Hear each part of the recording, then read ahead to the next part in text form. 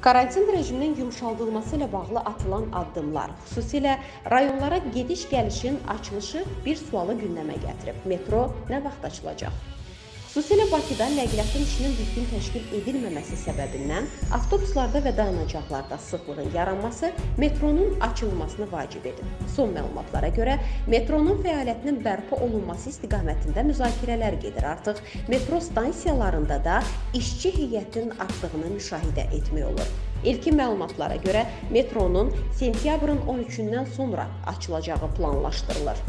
Bakı metropoliteninin saytında yerləşdirilən məlumatda isə qeyd edilir ki, xüsusi karantin rejiminin sentyabr ayının 30-na kimi uzadılması ilə bağlı qərara əsasən Bakı metropolitenində sərnişindaşıma fəaliyyətinin dayandırılması ilə bağlı qərar da sentyabr ayının 15-i saat 6-ya kimi uzadılıb. Bu məlumata əsasən metronun fəaliyyətinin sentyabrın 15-də bərpa ediləcəyini demək mümkündür.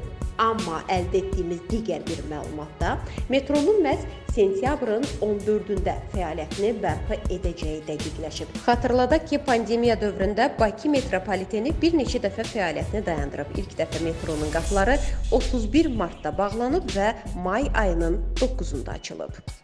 6-8 iyun tarixlərində də sərnişinlər metrodan istifadə edə bilməyiblər. Daha sonra metro açılsa da 4 iyulda yenidən bağlanıb və 20 iyula kimi fəaliyyət göstərməyib. Həmin tarixdə metronun açılacağı gözlənilsə də, operativ qərargahın qərarı ilə bu müddət əvvəlcə 5 avqustda, sonra 31 avqustda, daha sonra isə 15 sentyabra kimi uzadılıb.